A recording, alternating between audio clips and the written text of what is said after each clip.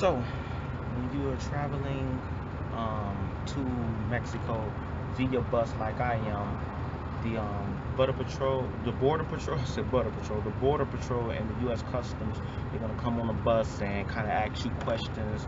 You know, they're gonna look at your ID and just ask what your whole story is to make sure everything match. So it's very important. You know, they're gonna question you. Yeah, I just bought this right here for one dollar from this lady. One dollar from this lady.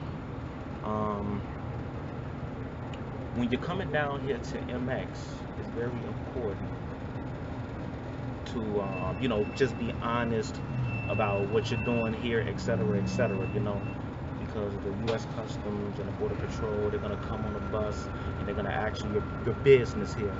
They're going to be like, you know, what's your business here, etc., etc. Believe it or not, it was relatively easy for me to get my um, ticket transferred from a um, United States Greyhound ticket to an American um, ticket. Very easy to do that. Online, people said it was hard, but for me, it wasn't.